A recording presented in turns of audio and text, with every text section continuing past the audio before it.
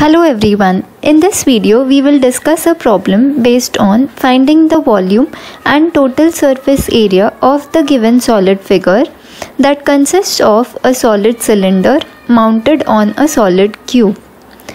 Such questions come under the problems based on combination of solids where we can apply the formulas of surface areas and volumes on the given figure.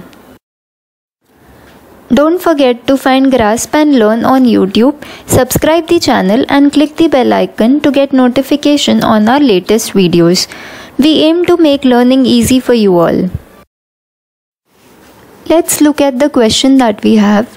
The given figure shows an object formed of a solid cube of side 40 cm and a solid cylinder of radius 20 cm and height 50 cm attached to the cube as shown. Find the volume and total surface area of the whole solid figure. Thus, as per the question, we have a solid cube whose side is 40 cm long a cylinder is placed on this cube such that the base of the cylinder and one side of the cube overlap each other. The height of the cylinder is given as 50 centimeters and the radius of the cylinder is 20 centimeters. We need to calculate the volume and the total surface area of the complete solid figure. Moving to the solution for the given question, we will first find the volume of the solid figure. The figure consists of two objects, a cube and a cylinder.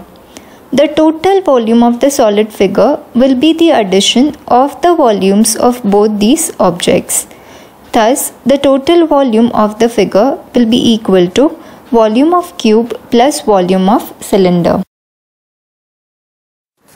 We have seen in the previous videos that volume of cube is equal to side cube.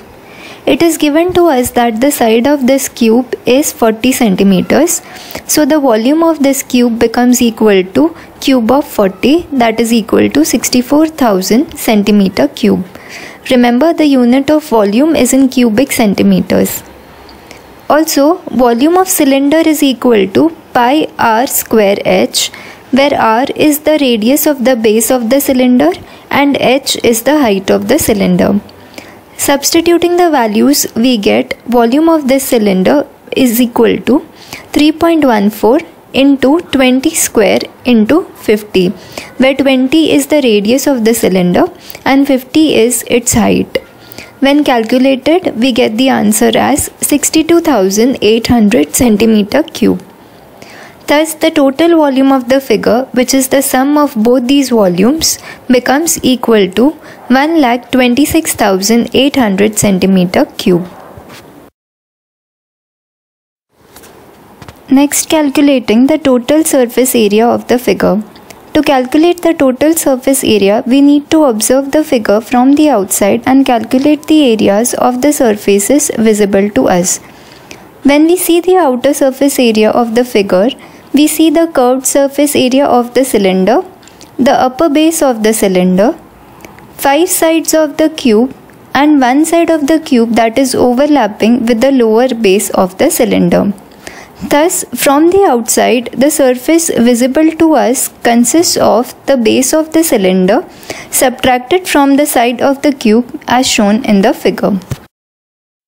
Thus, the total surface area of the figure will consist of the total surface area of the cube minus the lower base of the cylinder for the overlapping surfaces plus the curved surface area of the cylinder and plus the upper base of the cylinder.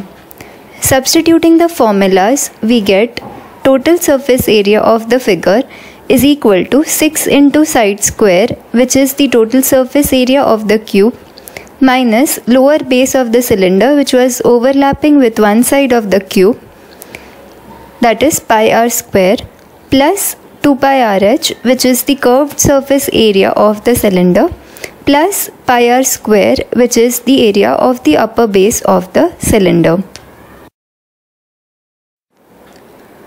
Minus pi r square plus pi r square gets cancelled and then substituting the values we get 6 into 40 square plus 2 into 3.14 into 20 into 50 where 6 into 40 square is for the total surface area of the cube and 2 pi rh substitution is for the curved surface area of the cylinder. When we solve further, we get the total surface area of the figure as 15,880 centimeter square. Remember this is area so the answer is in centimeter square. Thus, for the given solid figure, the total volume is equal to 1,26,800 centimeter cube and the total surface area is equal to 15,880 centimeter square. Hope this is clear to you all. Don't forget to subscribe our channel and get notifications on our latest videos. Thank you.